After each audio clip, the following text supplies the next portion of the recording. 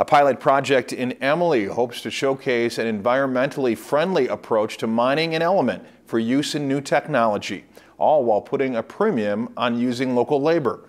Cameron Kramer has our story. Three to 400 feet below the surface, a drill is working in Emily.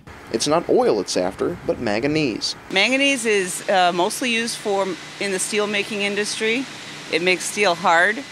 It's also the uh, an element of choice in the new and upcoming electric car batteries. The mining in Emily is a pilot project headed up by Crow Wing Power that hopes to determine if mining the element is cost effective.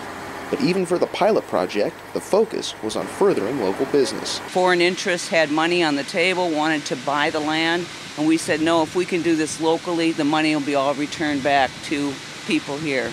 The process to attain manganese is complex, and it all starts deep underground using a drill and water. Each one's delivering uh, 851 psi of pressure down to the wellhead. The high-powered water system is all controlled by computer and breaks apart the manganese so it can be transported to the surface. There's a inductor down there that's sucking the manganese and water and bring it back to the plant to get processed up here.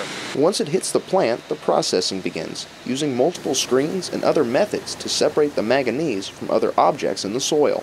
The end result is a simple conveyor belt ride to a large pile of manganese before the deposits head to a processing facility.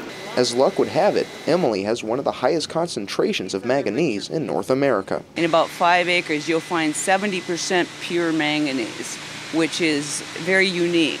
The entire process hopes to jumpstart the local economy and determine if the mining is viable as a full-scale operation. Cameron Kramer, Lakeland News. An environmental responsibility meeting will be held on Wednesday at the Emily City Hall to update the public on the progress of the mining.